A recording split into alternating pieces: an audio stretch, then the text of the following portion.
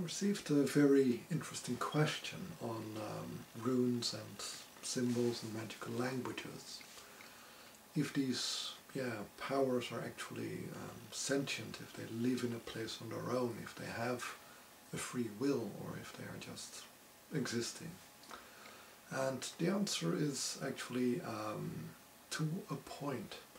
Um, a symbol is in a way a, uh, an incarnation of a higher power, a force. So if I have a symbol representing the sun, it is in a way an incarnation of the sun. It's the sun made limited, more solid. And every symbol, symbols for eyes, for rain, for light, for darkness, for um, love, for power, um, are in a way, yeah, incarnations, more limited versions of that uh, of that higher principle. And just like we are also incarnations of our yeah of our souls, of our uh, beings, and we want to yeah remain true to ourselves, to our path. So also the symbol will try to do that. So a healing symbol will want to be used for healing, a power symbol will want to be used for power, a connection symbol wants to be used for connecting things. And the energy in itself is usually relatively neutral. It's, it wants to manifest itself, and this is also why it forms a symbol, and this symbol form helps it to be seen by people in the astral who can then yeah, give it shape into the physical world, who can give it a form so that it can be shared to people and through its form by being written down in many places especially if the object or form is, uh, is blessed, is reconnected to the source, it gives the power a way to manifest, to um, yeah, do its thing upon the world. So symbols like um, existing, they like to be blessed, they like to be able to, uh, to manifest their power, it is their reason for living. Um, if a symbol, however, is used incorrectly or abused, uh, so that if, if it is used for a purpose which is not in concert with uh, yeah, why it exists, so you use, I don't know, the symbol for the sun to represent light, not the sun itself, uh, or the other way around, uh, then that symbol will be, yeah, frustrated or irritated or yeah, it won't feel right to the symbol to um, to do that because ultimately it is um, it's also like a slave because it cannot write itself down. It cannot manifest its own energy. It has to be written down or to be spoken uh, by somebody. And the person who writes it down or speaks it does it in a certain context, in a certain way, which can um, yeah, shape the power of the symbol. And yeah, the symbol is, while it holds power, it is also a slave to its master. Just like a slave has power, but it also is forced into obedience. And if, yeah, you don't treat a slave well, you ask things from it which are beyond its power or which are, yeah, unnatural to its own path of development, then it will start to resent its master, it will start to resent its service. And symbols can um, depower themselves, so they can try, start to withhold their power from the people who are abusing it. And symbols are not very particular, so they don't go usually like, okay, the way you sing me is very, very nice. I will, yeah, manifest myself for you, but the way you sing me, ah, that's horrible, I won't manifest myself for you. They tend to be more global, like, am I being used well? Is my, are my incarnations, because it is, a symbol is in a way a, a collective, are my incarnations being used well by humanity? If yes, then I will grant my blessings and my power to humanity to use. If humanity starts abusing me or using me wrongly, then I will stop being used by humanity.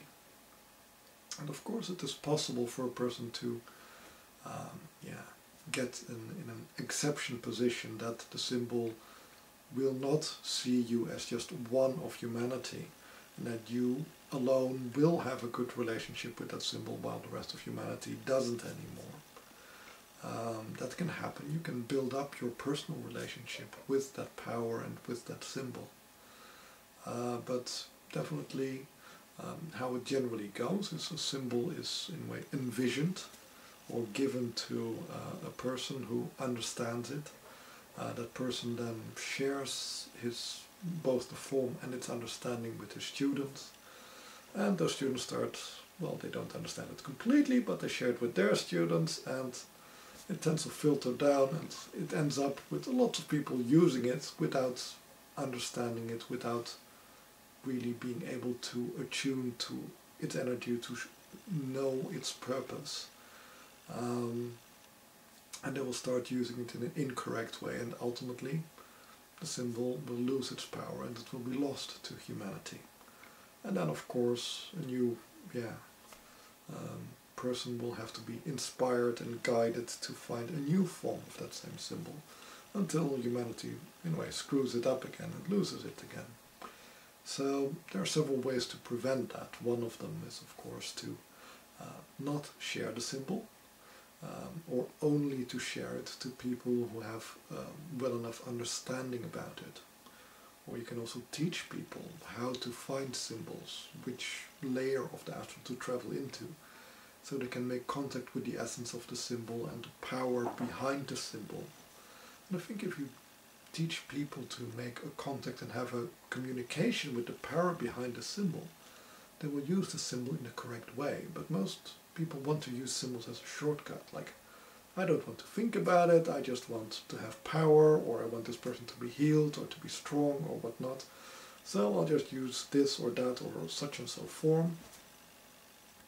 And ta-da, it will happen. So many people are, in a way, you could say like computer users rather than computer programmers. They don't know how a computer works. They don't know how a program is constructed why a program is constructed in a certain way. They just know which to press, press F5 or to press enter or to click this button or radio button to have a certain result. And if you get too many users and not enough programmers, then ultimately the thing goes buggy and it stops working. Because the relationship between humanity and the power of the symbol needs to be maintained. So in a way you need debuggers and yeah, system administrators to keep the program working so that the users can use it. So if humanity doesn't invest enough in the relationship between our race and the power, ultimately that power will be lost to us and if the power is more exclusive, only used by, yeah, you could say the programming elite, the yeah, system administrator elite, then yeah, it won't, it will be a very well maintained power with very little degradation by all the users who are trying to use it in very bad and idiotic and inappropriate ways, which will ultimately crash the program. So, yeah, symbols have, in a way, a life of their own, or a relationship of their own uh, with humanity. And um, this is also what makes um, alien uh, impulses, alien symbols so interesting, because um, they have already a working relationship, a working power relationship with other powers. And these other, yeah, spirits can inspire us to also use these forms, make them available to humanity. But if humanity uh, abuses them, uh, because symbols are in a way neutral, at least in the beginning, but if we yeah, cannot learn how to use these symbols, we only use them in the yeah, program user way rather than trying to become programmers ourselves, then yeah, ultimately they will stop functioning for us. So you find that often if a symbol, as symbol is introduced, it will have power, and these things don't happen overnight, but usually within five or six years these symbols will yeah, start losing power or the power itself will become very chaotic or unpredictable or um, the symbol will become less safe to work with. And of course, if you have evolved yourself by working with that symbol to the programmer level, you've made contact with the force behind the symbol, then also you can work with it without the symbol even, but also you can keep on using the symbol um, just to anchor the power you know within you or within the cosmos.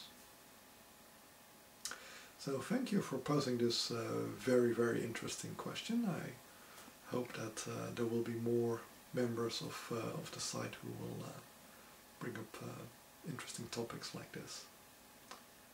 So thank you very much for listening and enjoy exploring symbol space.